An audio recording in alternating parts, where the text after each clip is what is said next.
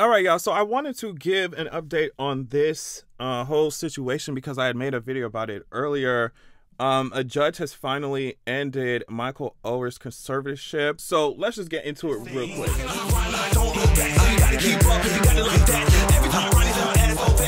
So ESPN says, um, judge ending Michael Oher's conservatorship with the Tuohy family. So a Tennessee judge said Friday that she is ending the conservatorship um, so, but his financial issues and all this stuff will continue. Shelby County probate court judge Kathleen Gomes said she is terminating the agreement reached in 2004 that allowed Sean and Leigh Anne uh, Tuohy to control Oher's finances. Oher signed the agreement when he was 18 and living with the couple as he had been recruited by colleges as a star high school football player. We know, we know about the blind side. Gomes said she was not dismissing the case.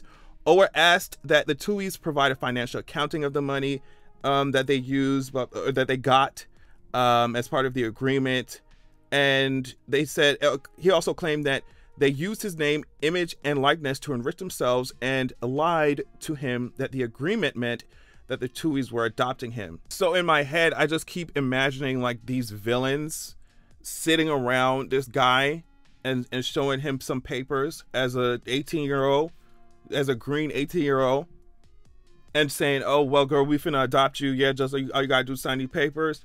And it's a whole entire conservative. You see what I'm saying? I obviously don't know how the process works exactly, or if he even needed to sign anything, or what exactly he signed but it's just like the level of villain villainy.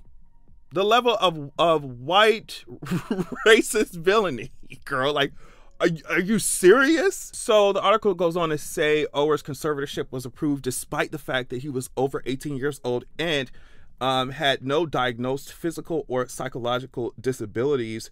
The judge said she was disturbed that such an agreement was even reached in the first place she said she had never seen in her 43 year career a conservatorship agreement reached with someone who was not disabled and that the conservatorship should, should have ended long ago. It's interesting that recently this conversation about conservatorships has really um, come to the forefront in a lot of cases. I, I don't know. Obviously, I think the whole situation with Britney Spears had a lot to do with why we're see.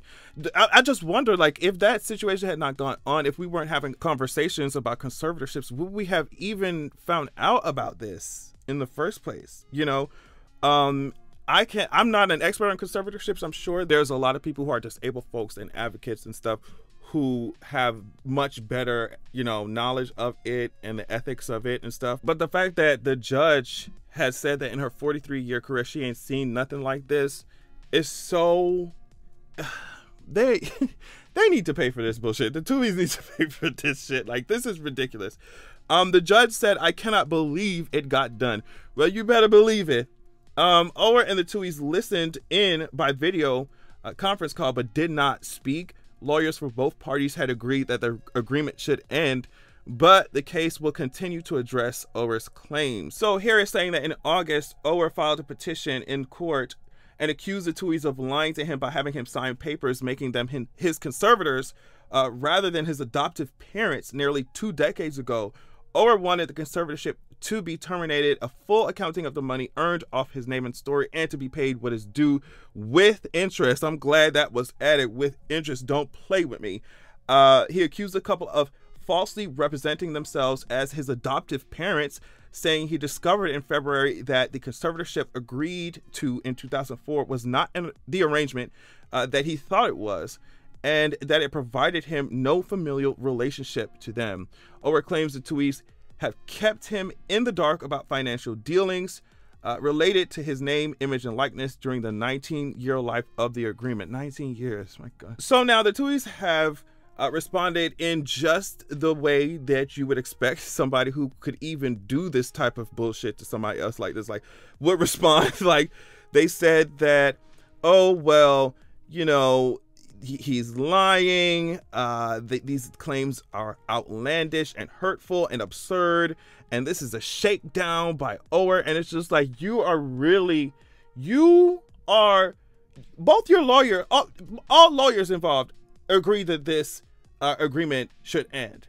And so you're trying to point fingers at the one who was in the conservatorship and say that, oh, girl, this person tried to take advantage of me. You have got to be. you have got to get a goddamn grip. Like, I'm so sorry. You have get you got to get a grip. This part here was especially ugly. The Tuohy said the conservatorship was the tool chosen to comply with the NCAA rules uh, that would have kept Oher from attending Ole Miss, where Sean Tuohy had been a standout basketball player. So this is what the Tuohy said in the filing.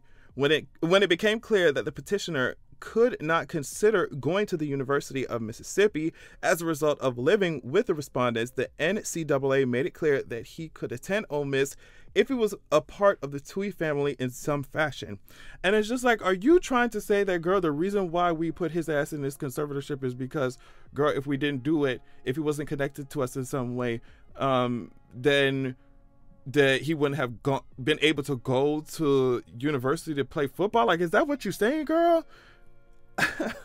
is that what you, is that what you're saying, Mama? Because you're literally acting like, oh well, um, he had to be a part of the family, uh, and that's the only way that the NCAA would have let him play.